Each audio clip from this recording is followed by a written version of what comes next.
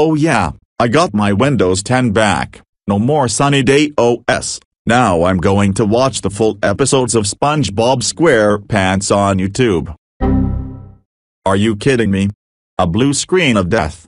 That's creepy. Now I'm going to restart my computer and, oh my. We interrupt your Windows 10 session to bring you up and sunny day error. Taylor Joliker FTWG 1760 FTL destroyed Sunny Day OS. What, me? Yes you. Taylor Joliker FTWG 1760 FTL uninstall Sunny Day OS by clicking on her. So you have three chances this time. Whatever you do, don't turn off your Windows 10 computer. If you do, she will get mad, so be careful. Man, I can't believe she'd take over my Windows 10 computer, that's ridiculous. I'm going to turn off my computer to see what happens.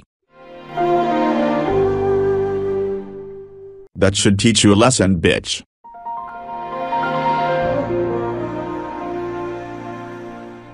What the fuck? It didn't work. Oh, I see you turn off your computer. Please do not do it again. Oh shut up you fucking bitch. Let's do it again.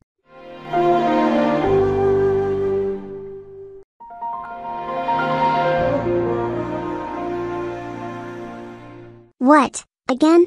That's it. If you turn off your computer one more time, I will scare you. Stop right there, sunny day. Rox and Blair, what are you guys doing? We heard that you give Taylor Joliker FTWG 1760 FTL in your own error, now he is stuck forever thanks to you, you are grounded for 1 million years. When we get home, you will go to your room and think about what you have done to him. This is not over yet. I will be back. Do you hear me? I will